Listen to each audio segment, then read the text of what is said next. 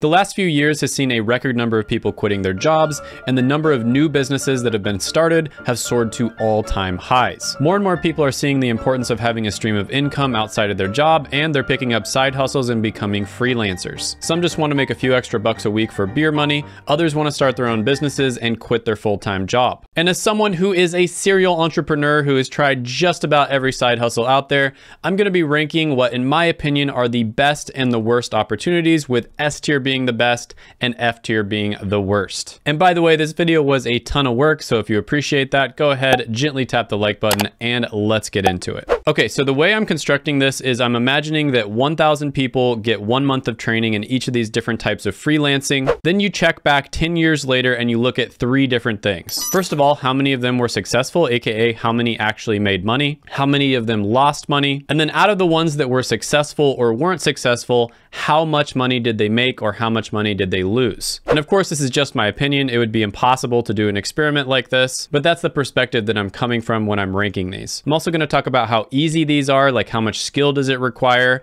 how passive it is, and also how much money you can make from it. So what is the upside? All right, so the first one on the list is going to be delivery apps. So this could be anything from Instacart to Uber Eats, lots of different applications out there where you can make a quick buck by either delivering groceries or moving people from point A to point B. Now, these are extremely easy to get into.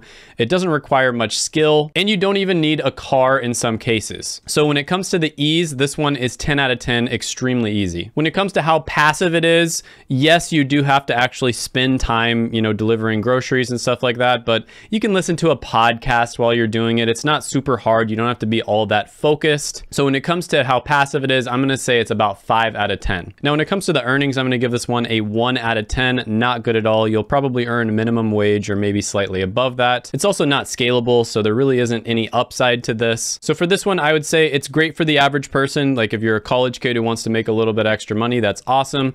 Not so great if you're ambitious. Overall, I do think you would make money with this, so it's not a scam by any means. So I'm gonna put it right in the middle in C tier. Next one on the list is going to be Shopify. And I've talked about this one before on my channel. Lots of 16 and 17 year olds on YouTube that are Shopify millionaires and they want to teach you how you can become one as well. If you've been on YouTube long enough, you have had the absolute pleasure of watching some incredible advertisements like this. 45 seconds, I'm gonna show you how my buddy Justin generates nearly $500,000 per month selling weird stuff like cat socks, fishing t-shirts, and of course, the legendary wolf mug.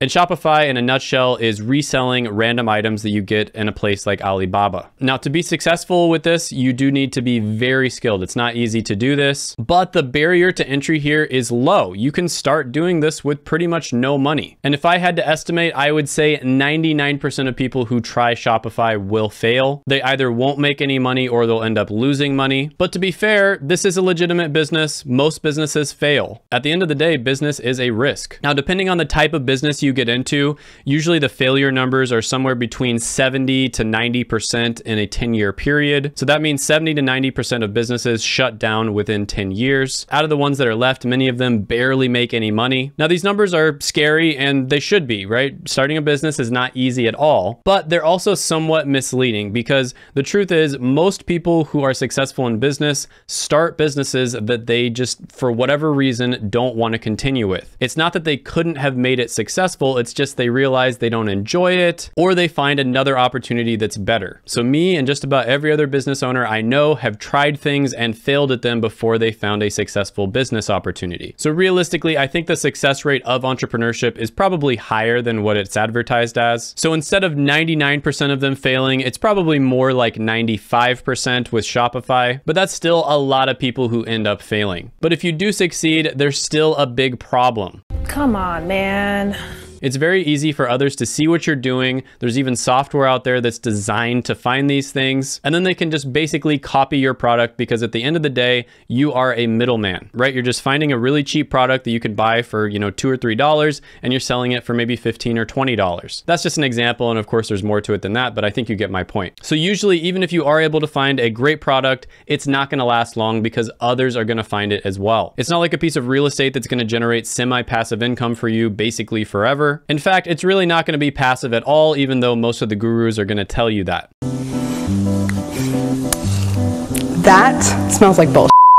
So when it comes to ease, this one is 3 out of 10, not easy at all. When it comes to how passive it is, 3 out of 10, not very passive. When it comes to the earnings, you do have a decently high upside here, especially considering the fact that you don't have to risk all that much. So I'll give it a 7 out of 10. And when it comes to longevity, this one is 3 out of 10. Even if you are able to find a successful product, it's probably going to last for maybe a year or two at the most. Now, is Shopify scalable? Kind of. I mean, you can create multiple Shopify stores. You can also put many different products on your Shopify stores. But this is one of those businesses that I think would break at a certain point. Like if you're managing 20 different Shopify stores, you're going to start having to hire a team. And it's not super scalable like a software company, for instance, would be. So it can be a good choice if you're ambitious. But for most people, you know, if you put like a thousand people through this, not very many of them would be successful. I would say maybe 50. Next one on the list is going to be Amazon FBA. FBA stands for Fulfillment by Amazon. So this is basically where you own a store on the Amazon platform and you sell products. Now these are physical products and Amazon takes care of like 80% of the hassles of selling physical products for you. So you're basically responsible for doing market research, finding a good product, and then figuring out how to market that product on the platform. This is an example, in my opinion, of an opportunity that was really good at a certain point, but it's not nearly as good as it used to be. This is also one where you're gonna have to invest at least a few thousand dollars in order to get started. So when it comes to ease, I'm gonna give this one a three out of 10. Not very easy. When it comes to how passive it is, I'll give it a five out of 10. I'd say it's much more passive than Shopify, but you have to actually find a successful product before it becomes passive. When it comes to earning, the upside is pretty decent here. It's an eight out of 10. And when it comes to longevity, I'll give it a five out of 10. You know, the thing is you could find a great product, but the problem with that is Amazon owns all of your data. So they have access to all of your sales data. And if they think it's a great product too, they can just make their own version of that product, have it rank at the top of the page, and you are pretty much shit out of luck. I expected it to be, you know, pretty bad, but this is really bad and they have actually started to do this with a lot of different products. So I would say this is another one that is not good for the average person at all. It can be good for you if you are ambitious. And I would say that this one is semi-scalable because once you find a successful product, it doesn't require all that much maintenance and you can pretty easily hire people out in order to take care of the day-to-day -day stuff. Next one on the list is going to be Etsy. And this is basically where you make handmade art and then sell it online. So it cannot be manufactured, it has to be handmade. And I have actually seen a lot of people have success with this. The money isn't amazing, but this can make a really cool side hustle. I mean, you're basically getting paid to make art. So you're getting paid to do something you probably really enjoy. Now it's really tough to scale a business like this, of course. So the ease here, I would give it a seven out of 10, relatively easy, especially if you're someone who likes art. How passive it is, I would give it a four out of 10. The only reason I have it that high is because, you know, if you're making art, you probably enjoy it. So you would just be doing it in your free time anyways. When it comes to earning, I'll give it a six out of 10. Um, I, you don't see people making like millions of dollars a month on Etsy, or if you do, that is extremely rare. But I have seen a significant amount of people who make maybe like a couple thousand dollars a month. And when it comes to longevity, I'll give this one an eight out of 10. I do think that art is something that people have enjoyed for hundreds of years and will enjoy for hundreds of years into the future. So this one I would say is good for the average person, but just okay if you're ambitious. So I'm gonna put Etsy in B tier. Next one on the list is going to be real estate. Now, real estate can be done in so many different ways. You can become a real estate professional, you can flip houses, you can be a real estate agent, or you can just be someone who rents out your spare bedroom. So this one is basically half side hustle, half investing. Now, this one is relatively easy to get into and make good returns, but it's very difficult to do well. Almost everybody will mess up on their first investment in one way or another. But space is limited on planet Earth, so houses are always going to be valuable. It's a limited resource, so it has inherent value no matter what. Now, when it comes to ease, I'm gonna put this one at eight out of 10. This is actually the most common side hustle that people have success with. When it comes to how passive it is, it really depends on the type of real estate you're doing. Um, depending on what it is, it could be a lot of work, but generally speaking, I'll give it a five out of 10. When it comes to earning, you do have pretty high upside here. I'm gonna give this one an eight out of 10. And longevity, this one gets a 10 out of 10. This is gonna be a good side hustle for you to have basically your entire life. Real estate has been amazing the last couple hundred years and it's going to be amazing for hundreds of years in the future. Is it scalable? Not really unless you're Grant Cardone and you buy like thousand unit complexes. I mean, it's possible to make anything scalable if you're really, really good at it, but it's not the easiest thing in the world. So with this one, I would say it's great for the average person and it's also great if you're ambitious because you can make money investing investing in a duplex, living in one side, renting out the other side, and you basically get to live for free and you might even make a little extra money on the side. So this one definitely goes into S tier. Next one on the list is going to be MLM, and this stands for multi-level marketing. Now, a sign of this is when you have to pay to start working somewhere, never pay to apply to a place or pay to start working. That's a really bad sign. The only people who make money in MLMs are the ones at the very top. Everyone else loses money period. And it's technically legal, but it's borderline unethical. Now, when it comes to how easy it is, I'd say it's like five out of 10. I'd say the only good thing about MLMs is maybe you might learn some business skills that you can use in a different side hustle. Now, when it comes to how passive it is, four out of 10. A lot of the time, you're just going to be badgering people to meet up for coffee and then try to sell them your candles or your life insurance plan. When it comes to the earnings, I'm going to say zero out of 10.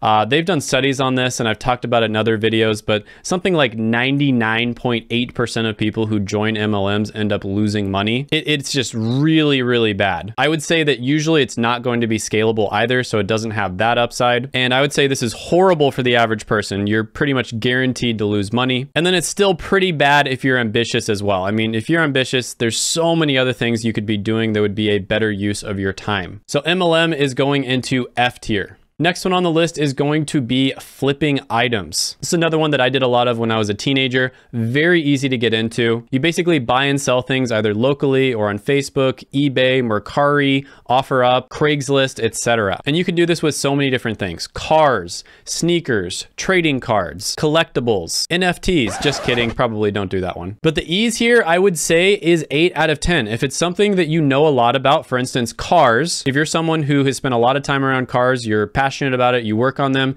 it's really easy to figure out what a good deal is and what a bad deal is. So you can buy a car, maybe work on it a little bit, clean it up, and then flip it and sell it for an extra thousand dollars. When it comes to how passive it is, I would say this one's maybe six out of 10. It is a little bit of extra work, but a lot of people who do this have full-time jobs and just do it on the side. So it's not super passive, but at the same time, it's not too time demanding either. When it comes to how much you can earn, I'll put this one at about seven out of 10. Most of the time, you're probably not gonna get rich doing this. I'm sure there's a few exceptions out there, but you can make really good money for this. And I think it's definitely one of the best side hustles you can do if you still have a full-time job. Now, is it scalable? Mm, not really, because you're the one who has an expertise on a certain thing, right? So maybe you have an expertise when it comes to cars or Pokemon cards. It's really hard to hire somebody else out who knows those things as well. You'd have to take a very long time in order to train them. So this is definitely one of those things that requires a knowledge gap, right? So you as somebody who knows a lot about sneakers or cars, for instance, you have a much more accurate gauge of what the real market value of one of those things is. And so that's why you're able to buy low and sell high. So I would say this one is great for the average person. Flipping items is amazing. I was a dumb teenager that didn't know anything and I was able to successfully flip items for years. I would put this one as above average if you're ambitious, but realistically, it's tough to scale this one, so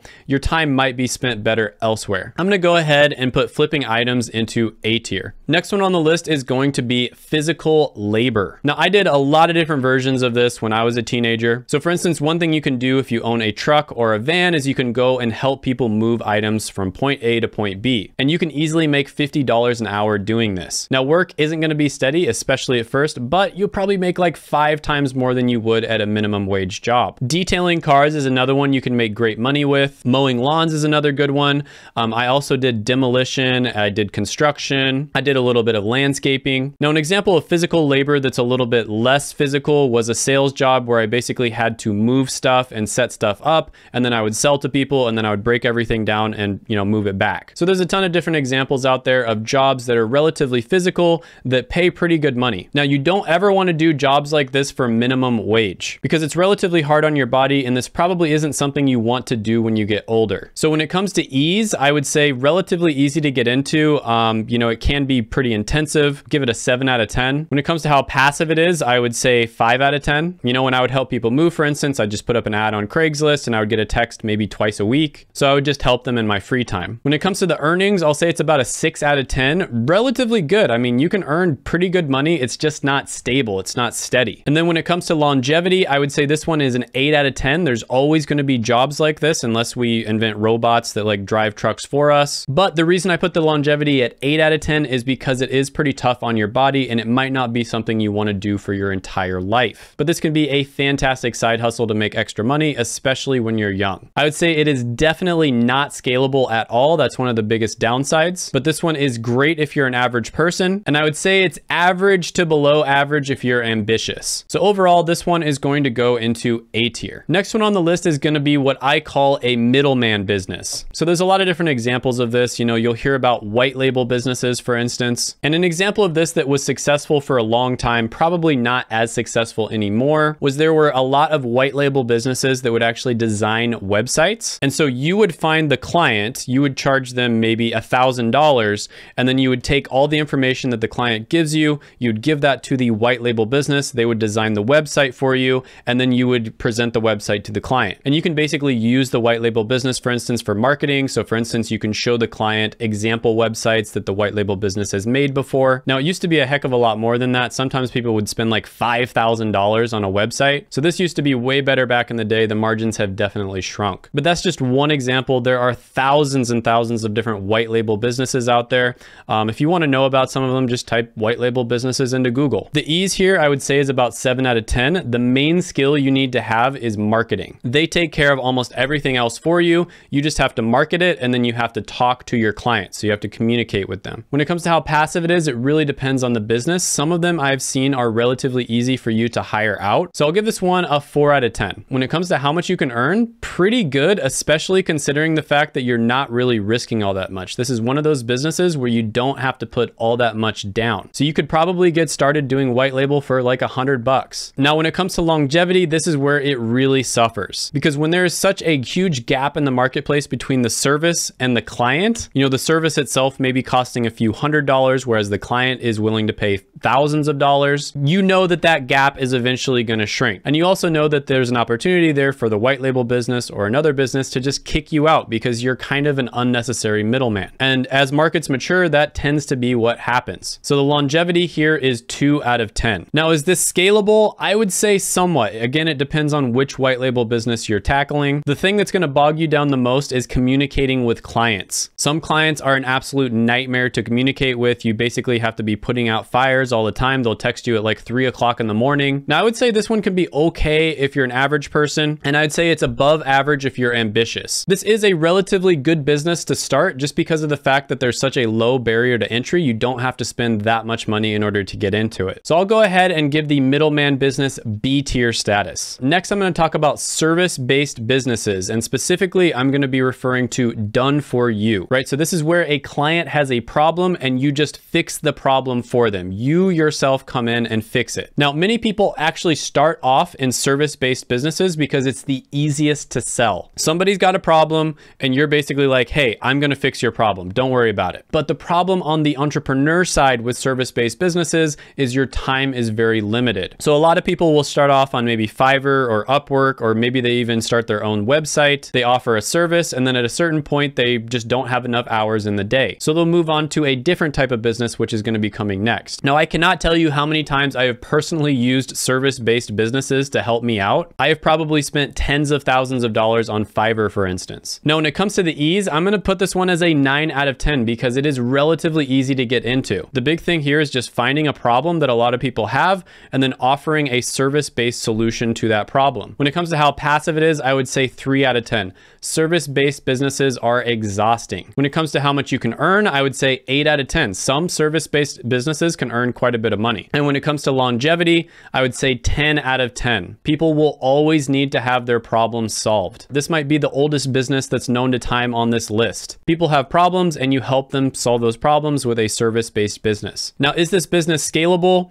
Usually not. Sometimes you can build out a team that carries out the service for you, but that is a lot easier said than done. There's so many headaches that come along with building a team. This is without a doubt the easiest way to make money if you're brand new in my opinion. I would say this one is great if you're an average person because you can basically just find a service that's something related to what you're really good at anyways. For instance, if you are an accountant, you could make a service on Fiverr that gives advice to people who are trying to become accountants on college degrees or careers. You could give advice to people who are trying to get into certain companies. You could help them create their resumes to look good. There's just so many different examples of things that you can do based on what you're already good at. This is also great if you're ambitious because as much as people are trying to automate things and create software that's scalable, at the end of the day, it's really nice to just have somebody who's a professional come in and solve your problem for you. So service businesses go into S tier. All right, next on the list is going to be consulting or coaching. And this is what's known as a done with you type business. Now, this is where you have specialized information on a certain problem that people have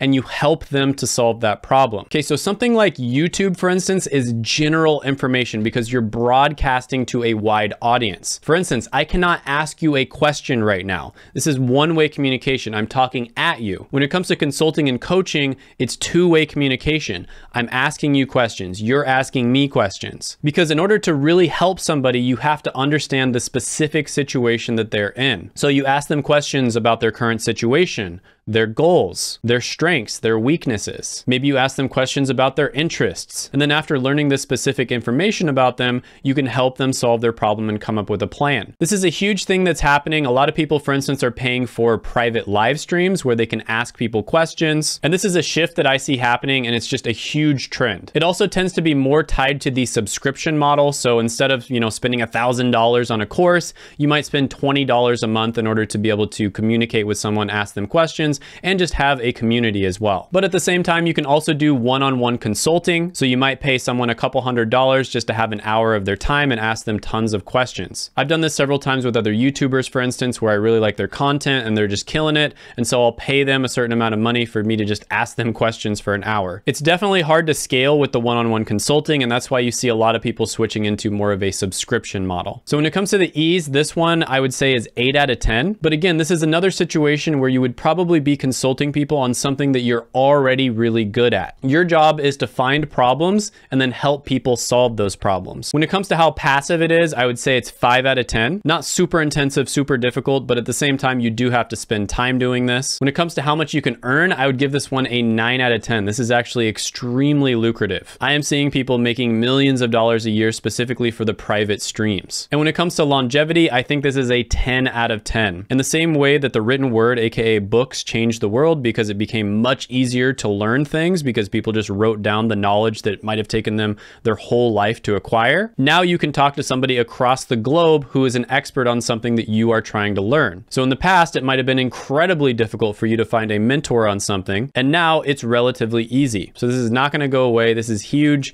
especially in the age of information. I would say this one can be good if you're an average person, basically just teaching people things that you're already good at. And I would say it's great if you're ambitious. Next one on the list is going to be e-learning. So this is relatively similar to the last one, but it's more specifically uh, teaching people in the way of selling courses. And there is a lot of scammy stuff going on right now, a lot of fake gurus out there. But with that being said, if you zoom out and look at the bigger picture, uh, again, this is going to change the world. And I think eventually e-learning is going to largely replace universities. They're going to take a huge cut of the education marketplace. Again, in the same way that books changed the game, e-learning is going to change the game as well. It's a super efficient way of efficiently spreading expert knowledge. Again, when I first started YouTube, what did I do? I took several courses on it and that definitely helped me start a successful channel. Now again, lots of scammy courses out there. There's also some really good ones as well. Now some really good websites for this would be teachable.com as well as Skillshare. When it comes to ease, I would say it's very difficult to create a course.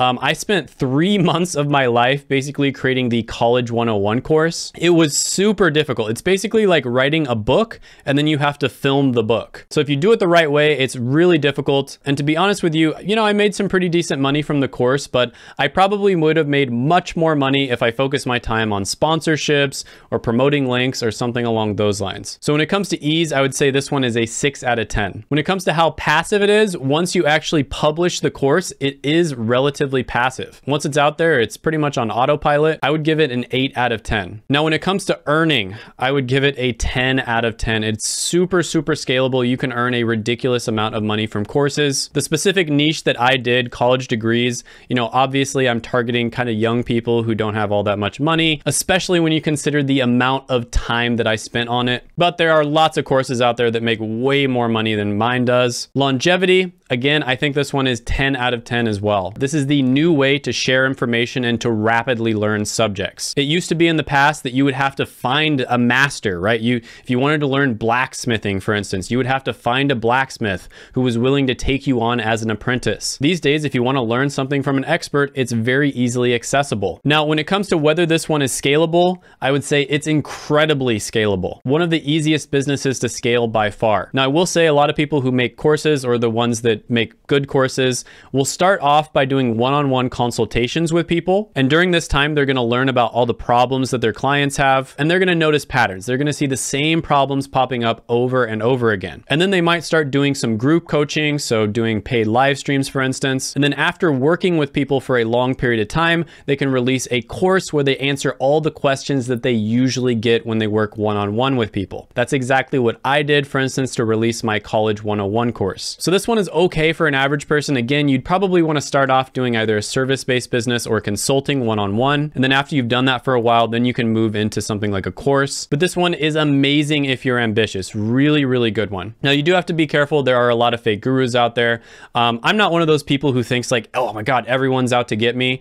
Um, you know, I check CoffeeZilla's channel. He kind of gives you the red flags and the things to look for. But I disagree with him because he seems to think that like every person who sells a course is out to get you. And that's just not true. Next one on the list is going to be penny stock trading. I've talked about this one so many times, like 99.8% of people end up losing money with penny stocks. When it comes to ease, one out of 10, super difficult to be good at penny stock trading. When it comes to how passive it is, two out of 10, you're constantly having to monitor the markets and news, etc. You've got like eight screens in front of you. When it comes to how much you can earn, one out of 10, maybe one out of a thousand people is really good at penny stock trading and they can be consistently successful, but 99% plus of people are going to lose money. Longevity, one out of 10 as well. You know, you might get a little bit lucky and make some money and you should take your profits and leave in that case. Scalable, definitely not. I would say this one is very bad for the average person. Possible if you're ambitious, but super, super difficult. I'm gonna put penny stock trading in F tier.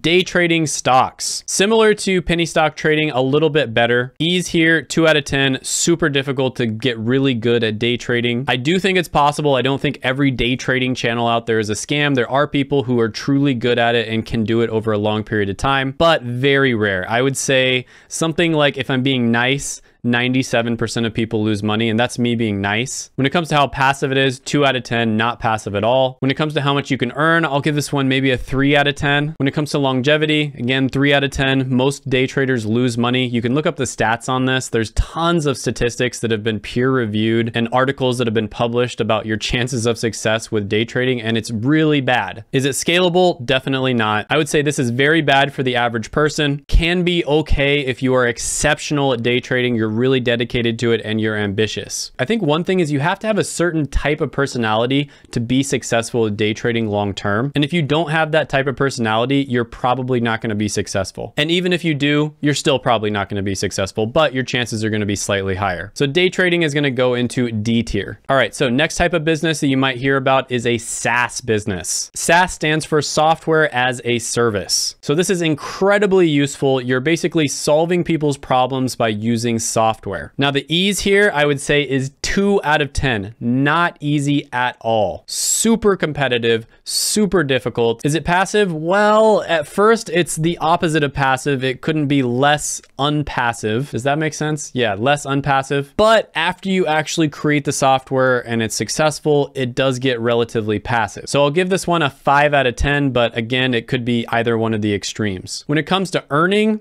this one gets 11 out of 10. It's super scalable, so you can literally earn billions of dollars. This is probably the only one on the list where one single person could create something, maybe get some funding for it, and then end up becoming a billionaire. When it comes to longevity, Again, I'm also going to give this one an 11 out of 10. This one has great longevity. Software is the future. Tech is disrupting basically every industry. Is it scalable? Super scalable. This is the most scalable one on the entire list. Now, for the average person, I'm just going to say it. This one is awful. You probably have a 99% chance of failing. However, if you're exceptionally ambitious, this one is basically S tier. It's God tier status. But it's really hard to label this one because of the fact that it's just so different depending on if you're like an average person versus someone who's really ambitious. So overall, I'm gonna give this one A tier status. All right, so I have a little gift for you here. I made a freelancing worksheet where I'm basically asking you certain questions that are gonna help you determine which type of side hustle or freelance type job is best for you. And these are questions that you wanna ask yourself,